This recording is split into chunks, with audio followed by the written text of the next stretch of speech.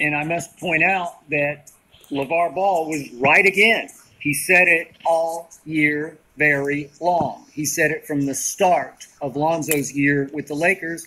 LeBron's coming to LA. I don't know. Maybe they got some connection. Maybe maybe LeBron gets a kick out of LeVar because now they're quote unquote teammates. Very interesting.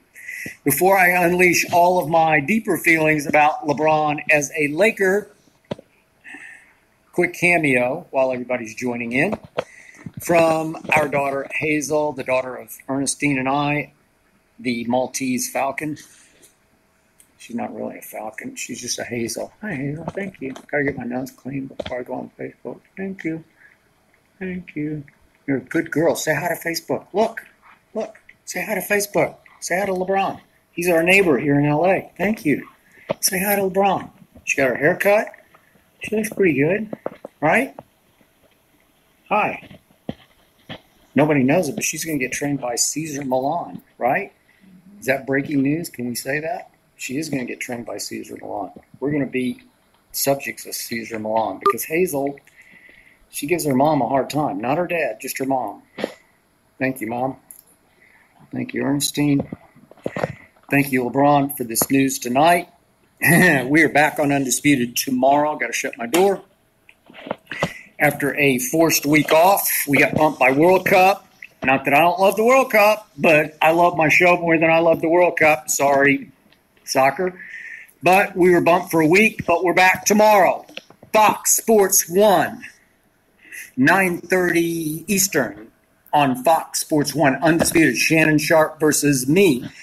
Les Shannon Sharpe, he is a big LeBron fan, and I'm going to be very interested to see how LeShannon likes LeBron being his neighbor.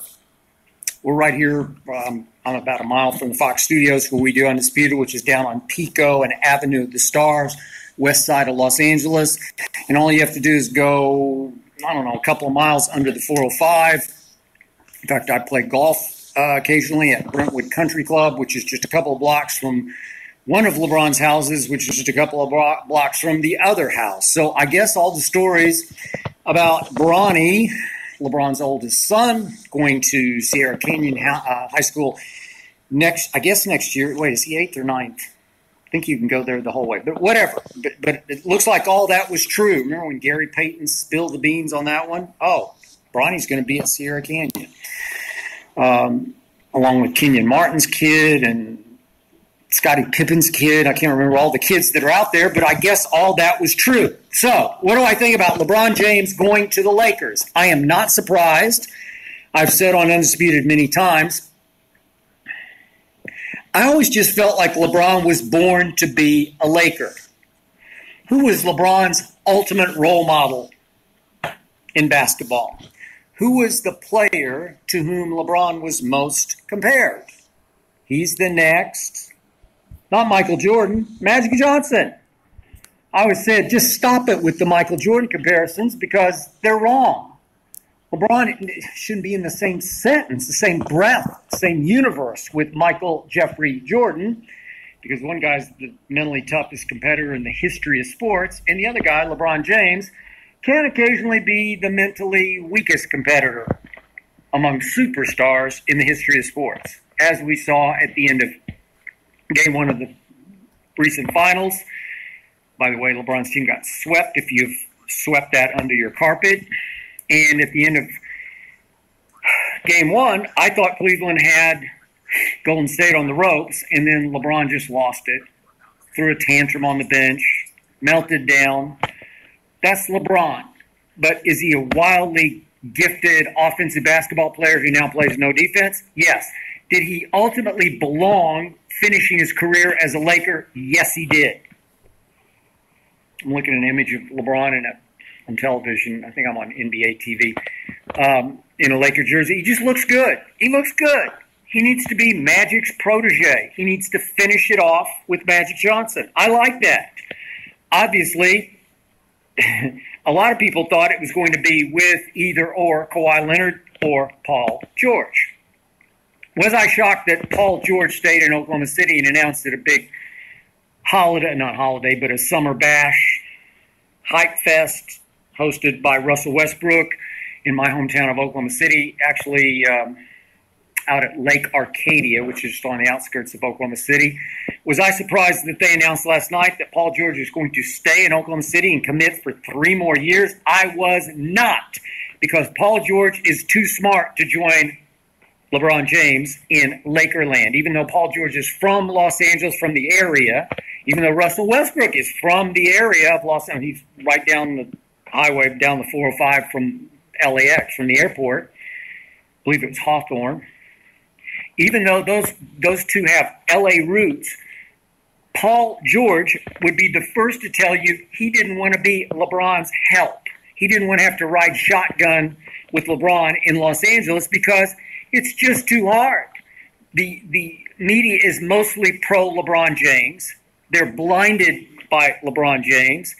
They're quick to protect and defend LeBron James. And so they're just equally quick to condemn LeBron's lack of help. So Paul George, who will have some bad games occasionally, as he did against Utah in Oklahoma City's first round exit, he wanted no part of that. He knows he would be the scapegoat. He would be he would take the brunt of the criticism. Every time he had an off night, it'd be, well, Paul George's fault, or as I call him, George Paul, because he occasionally turns into George Paul. He couldn't beat LeBron head to head because he's a poor man's LeBron.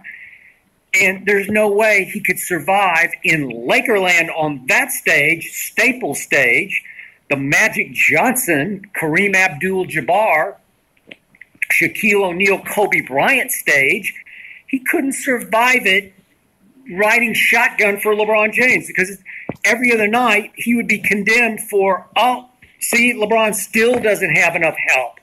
Paul or George, whichever way you want to turn his name around. So, who does that leave to come to LA? I'm going to be surprised if the team I root for, by the way, I root for this team. I'm wearing it tonight in honor of LeBron James because he's a huge Cowboy fan, which just drives Shannon Sharpe crazy.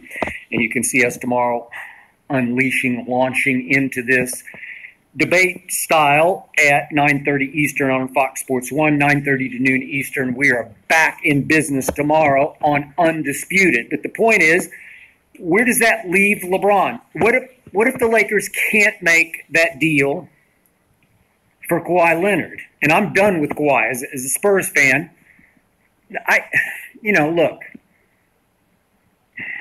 I, I, I would love to see that. You know, I would love to see that.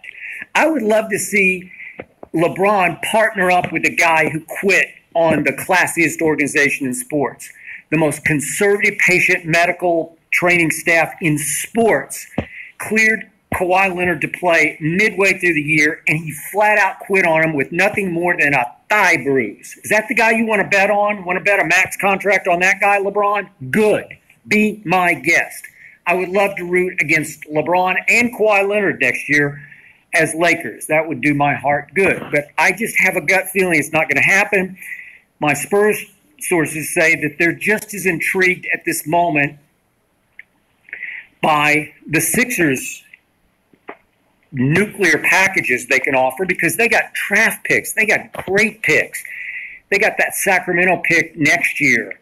And they also they got a bunch of players too. And obviously Philly got left at the altar by LeBron. What was that about today? There was a story from ESPN that that the sort of Philly, the Sixers contingent, management contingent, coaching contingent, had flown all the way to LA to meet with LeBron. Well, obviously, he'd already decided to sign with the Lakers. It had been widely reported for weeks that that's where he was heading. He was the, the Lakers were the Vegas betting favorite. So why would he even entertain Philly's request? Why, why would he allow them to fly all the way across the country to meet with him, if in fact the report is true, when he's he's already done it. It's it's it's a done deal. And Clutch Sports, his company, announced it just about what was it about an hour ago. So wh- why would you do that to Philly? That's just dirty pool, low blow. And Philly goes from oh we could get LeBron and Kawhi next year to go along with our two nuclear weapons, young nuclear weapons, obviously, and Embiid and Ben Simmons. And now they're back to the drawing board. But would they like Kawhi? Because Brett Brown has coached Kawhi in his past as an assistant under Popovich in San Antonio and has some connection. I don't know how well he knows him exactly, but I'm told that the Sixers believe they could talk Kawhi into committing long term to them after next year. He has one year to go on his contract, obviously. Would Boston get back in the Derby for Kawhi? I don't know. But now it brings us to the big guys. Lakers still have slots, uh, you know, another slot open. LeBron obviously took the max, max, max. This is his set for life deal. He's going nowhere. Other, he's going to finish in LA. I'm pretty sure. I don't know. Can he do what Tom Brady's doing? I don't. I don't think he belongs in the same breath with Tom Brady, and, and play into his mid 40s. I don't know, but I doubt it very seriously. It just sounds like this is it. This is the end of LeBron. He's going to finish it out in La La Land as a Laker. He's got the houses, kids to be in school. Maybe he wants Bronny to play with him at some point on the Lakers. Just feels like that to me. But who could help LeBron immediately? Well, you got the two big guys on the market. You got DeMarcus Cousins. I do not call him Boogie. I've met Boogie and I know Boogie, but I don't call him Boogie. I call him DeMarcus because it just just irritates me. People call him Boogie like they they know him or they're buddies with him. I, I don't even like the nickname. He is DeMarcus Cousins to me. That's what I call him on TV. And I think he would be a great fit for LeBron if, in fact, he wants to leave his fellow Kentucky product Anthony Davis in New Orleans, I thought they were pretty good together. You can make a case that Anthony rose and shone after DeMarcus went down. And obviously, Marcus still has injury risk with his Achilles tendon because you never, ever know how that's going to bounce back. But I do think he'd be a good fit with LeBron. I do. I think he would look up to LeBron. I think he would stay in line a little bit more for LeBron. I think LeBron would enjoy feeding him in the post, getting him free on pick and rolls for dunks or shots. Obviously, DeMarcus could step back and shoot threes occasionally, shoot mid range occasionally. He's pretty good at it. I think he's a great young player. He still hasn't figured it all out yet. Is he volatile? Would LeBron calm that part of him down? I think so. I think it'd be a great fit. And by the way, Clint Capela is still out there. Clint Capela is a horse, man. He is just a horse. He is just a workhorse. He's just, I mean, he's got thoroughbred in him, but he also has workhorse in him. He really grew on me last year. First, I, I wasn't sure he, you know, going back a year, two years, because my Spurs just devastated them a year ago. Wasn't sure he knew how to play, but he's just figuring it out. And he plays so hard. And, and he plays – so every possession all out and attacks the glass. And I just like his demeanor. I like his makeup. I, I like his I like his basketball character. Strong to me. And he would be a good fit as a guy who does the dirty work, man. He could do the dirty work, and I assume the Lakers are going to keep all those the same kids unless they're going to trade him for Kawhi. I'm sure that's still on the table. But maybe they just wanted to go free agent, free agent. Not sure how the math would work. They'd have to get rid of some of their money, I would think. That's way over my head.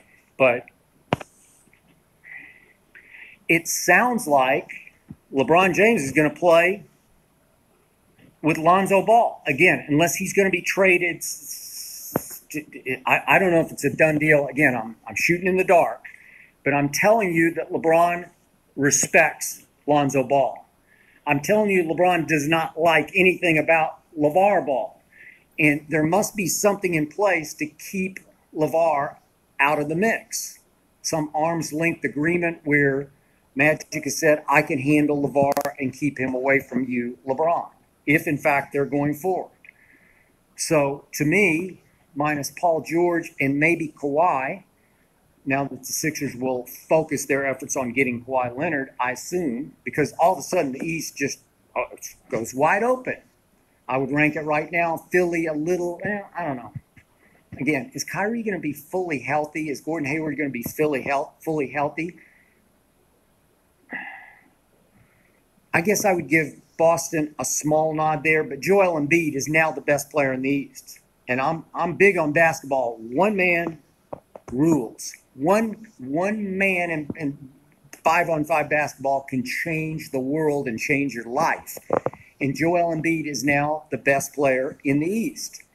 He's just I love Kyrie Irving, but he's what, six two? Joel Embiid is seven feet tall and can do everything you want him to do. And if he can keep himself together off the court, and if his body holds up, and by the way, don't underestimate this. Speaking of bodies holding up, the Sixers team doctor, whose very job it is to sort of babysit Joel Embiid and try to keep his minutes down and keep him healthy, especially when he goes away to say play the All Star game. That same surgeon gave Kawhi his second opinion. That's why the Philly connection is strong. And don't forget that Kawhi's uncle lives in southern New Jersey near Philadelphia. And I, I, think he's got some connections there. He's a Philly fan, a Sixers fan.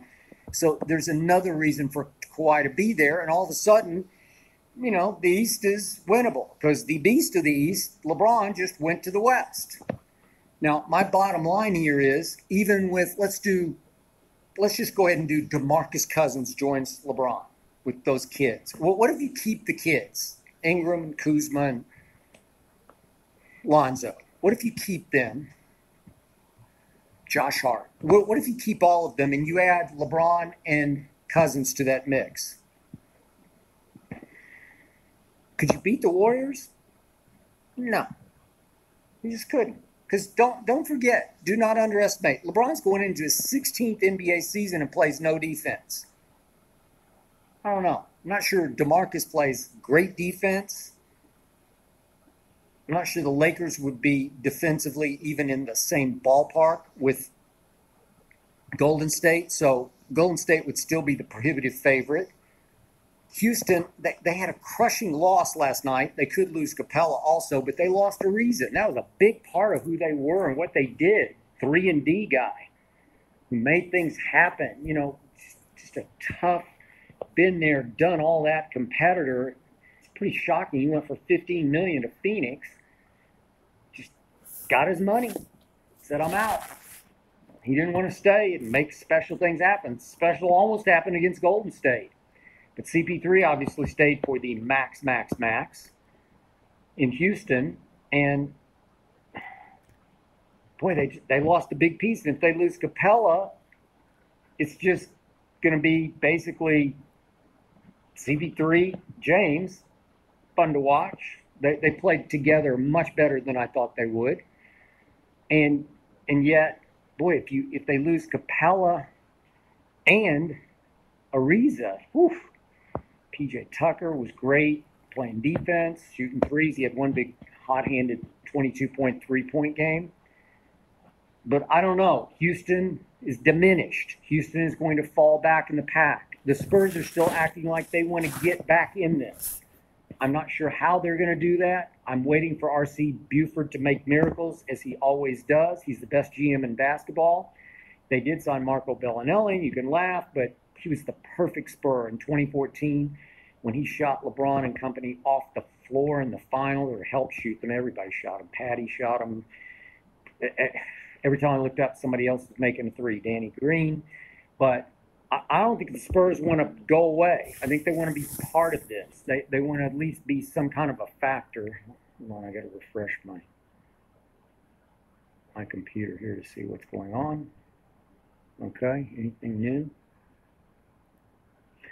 And that obviously brings me to the poor Cavaliers. I don't know you know, there's a part of me, I want to see LeBron suck it up, gut it up, and just say, I'm going to stay here. I'm going to take this team that a lot of people liked at the trade deadline and with the year of experience, with the various, I don't know how, who was coming back exactly, how they're going to mix and match, but the Clarksons and Hoods, and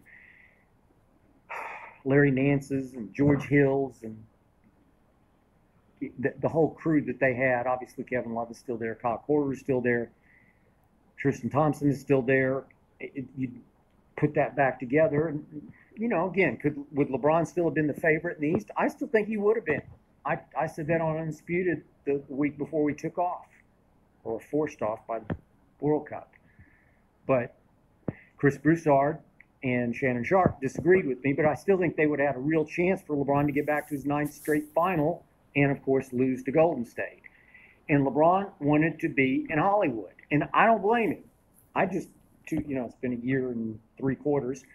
I left Bristol, Connecticut for Los Angeles. I started my career here at the LA Times. I'm in Los Angeles speaking to you right now. West side of Los Angeles in Century City. It's just beautiful. The weather today was just sensational here. It's just sensational. It, it gets hot, but there's coolness to it on the west side in Brentwood where where LeBron is going to live. It's just like I don't play much golf, but but occasionally I play golf and it'll be 90 degrees on some random weekday Tuesday afternoon. It'll be 90 degrees, and if you get in the golf cart and go back against the, the ocean breeze to drive your ball and you drive fast, it'll get chilly. Seriously, there's there's cool in the air. It's, it's a great place. Everybody wants to, to play and to stay here. Kevin Durant has two places in the LA area, Malibu and Hollywood Hills. And Russell Westbrook's from here. Everybody wants to play in LA. And finally, LeBron, with all of his Hollywood dealings and his production company, said, I want to end my career there. And I get it, he belongs here. But my gut feeling is just my gut feeling tonight, and I got to see how this sorts out. Number one, I believe LeBron James will never win another ring. And number two, I could eat these words, and I need until tomorrow to, I got to put an asterisk on them. But I don't think he's going to get back to another NBA Finals. I just don't think he will. I could be wrong about that, but Golden State is just so formidable right now, and they got it rolling, and it's just going to be difficult for LeBron. Remember, he's, he's an aging player, still great on offense, no defense. And the Lakers just paid him astronomical cap eating money. I know it's a soft cap, but still, it's a lot of money to commit to a guy in his 16th year. Is it worth it to the Lakers? Sure. He was born to be a Laker. We end up with a statue outside Staples, like the other greats. I don't know. Can he do enough at the end of his career to merit a statue? I don't know. I feel sorry for Cleveland tonight because left you high and dry once. Then you left Dwyane Wade high and dry and came back. And by hook or crook, by luck or no luck, when Draymond got suspended, that series flipped around on its head, and they came from 3 1 down, and they did win a ring. LeBron James won a championship for the land. Can't take that away. Give you that. But then he left you high and dry one more time when it just it would have been the feel good story of the year if LeBron had just said, I'm going to stay. I'm going to stay in the East. It's getting a little better in Boston and it's getting a lot better in Philly and it's starting to get better in Milwaukee. But LeBron's just going to ride out his career. That would be a feel good story if he just said, I'm going to stay home and finish at home. But the lure of La La Land of Hollywood, it's just too much. And I, I'm not going to be a hypocrite tonight because it, it drew me in, sucked me in, sucked me all the way across the country. I love it here. My wife Ernestine, native New Yorker, she comes and goes. She loved the weather today. She usually comes in and says, Boy, it's a beautiful day. It's, it's just almost always a beautiful day my favorite all time bumper sticker here in Los Angeles. Ho hum, just another day in paradise. That's what it is. Are there earthquakes? Yes, there are. Is there terrible traffic? Yes, there is. Is it still a great place to live? You better believe it is. So I can't blame LeBron for making somewhat of a lifestyle choice of, of wanting his kids and his wife and his clutch sports. I assume they're all going to relocate here now. I've seen Maverick Carter out here several times. I love Maverick Carter. He's dynamo from Wall Street to Sunset Boulevard in Hollywood. He is a dynamo, and LeBron is so blessed to have him on his side running his production side, his production company. Brilliant. Just just a stud. Young stud, Maverick Carter. But I assume they're all going to locate here, relocate here from Cleveland, but I don't know that for sure. But I get all that. It's just it, it's just who will wind up with LeBron because Paul George said no and Kevin Durant said no. And that surprised me. And there were reports. In fact, I think my friend Stephen A. on First Take reported. Was it Stephen A? I can't remember. We were off last week, but somebody at ESPN reported, as, as I kept talking about, that LeBron should do this. LeBron should get a hold of KD and say, hey, what's up, man? Let's come to LA. Because remember, until two nights ago, Kevin Durant was unrestricted free agent.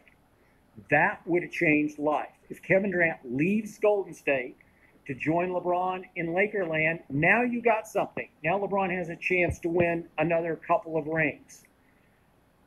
But Kevin Durant stayed with Steph Curry, with Klay Thompson, and with Draymond Green, and with Andre Iguodala, and, and with all those those so potent, powerful backups that they have. So many young players. That McCaw, he's a stud kid. That I just, I don't see what LeBron's going to do. I, I don't see how he's going to get back to another finals. It's just going to be hard because he's now diminishing returns because of his age. So now it comes down to no Kevin, no Paul George, I don't know about Kawhi, but it doesn't feel like it's going to happen. I'm just I'm just not sure that the Spurs would let it happen. They don't want to do any favors for the Lakers in the Western Conference. They've been rivals what 40 years, 30 years, whatever it's been since they came out of the ABA. I've been a fan since the 80s, and it, it just feels like there has to be some other deal in place. Maybe something's broken so far, but I don't see it yet. But it just feels like there has to be another puzzle piece that I don't know yet. Can't wait to talk about this tomorrow at 9:30 Eastern Time on Fox Sports 1 Undisputed returns to the air tomorrow as we got bumped by the World Cup last week and the other piece to me that makes the most sense would be DeMarcus Cousins. So I'm looking for that to happen. I think Clint Capela is still an option, big man option, but it feels like it's still going to be LeBron and the kids. And you know what? Maybe in the end, LeBron just didn't want the the, the big hype buildup. Maybe he wanted to take a little pressure off. Maybe he wanted one year of lesser expectations where nobody really he wanted to play for a team that wasn't expected to get to the finals. And this team wouldn't be expected to get to the finals. Maybe he would like being the underdog. Maybe he would like to take a year off from the finals and just try to revitalize and enjoy the weather in LA and enjoy the lifestyle in LA. And then, as you know, again, there's always the chance that that Kawhi goes somewhere else or stays in San Antonio and then joins that group a year from now. There's always that chance because that was Kawhi's publicized goal. Maybe, but in the end, I'm happy for LeBron. I'm sad for Cleveland. I feel bad for Philly that he made them fly all the way as a group to try to talk to him and recruit him today when he's obviously already decided that he was going to LA, as so many people thought. And yet, in the end, I'm happy for LeBron because he belongs in that purple and gold. I've always been kind of a Lakers fan, even in my days in Dallas when they were arch rivals against the Mavericks. It's just hard not to be a fan. I just love Magic Johnson. I'm the biggest Magic. I'm a slightly bigger Michael Jordan fan, but second on my list is Magic Johnson, Earvin Magic Johnson. And I'm happy for him because that'll be a great connection it's it's almost like the torch has been passed from Magic to LeBron. They're kindred spirits. They're two peas. They work together. They're they're of like mind. They're two of the greatest passers we've ever seen, and I like it that they're now on the same team, even though Magic's obviously just overseeing. That all feels right to me. LeBron looks right in purple and gold. the truth was he never really looked right in wine and gold. He, he, he, he was just a cavalier because he was from Akron, but he belonged in LA. And now let's see what other pieces to the puzzle Magic and Rob Pelinka continue, will continue to put together. I can't wait to see how it unfolds as the stories break over the next 24 hours. And I can't wait for Undisputed tomorrow. 9:30 Eastern on Fox Sports 1. We are back from Los Angeles. I can't wait to hear Les Shannon Sharpe on LeBron James, the newest Los Angeles Laker. How will it play out with LeVar? I don't know. I think Magic, I'm sorry, uh, LeBron, I think LeBron has a lot of LeVar in him. Seriously. He's a showman. He's a drama king. He's a diva. So is LeVar. LeVar's turned into nothing but entertainment. LeBron says things for shock value every other night. I mean, it's it's not strive for greatness, it's strive for drama. I, I think actually those two work together. I, I kind of like it. Magic, LeBron, and LeVar all on the same team. Poor Lonzo just kind of goes along for the ride. What a great kid is he is, and, and LeBron respects his game, and I do think they can play together. It's going to be the new focal point of the NBA universe, right under our nose at Fox. Staples is just down the 10, as they call it, I 10 from Fox. I may have to take in some of those games. For sure, I will be back on Undisputed tomorrow morning at 9:30 Eastern. Join us then. No World Cup tomorrow on Fox Sports 1. We're back. I'll see you then.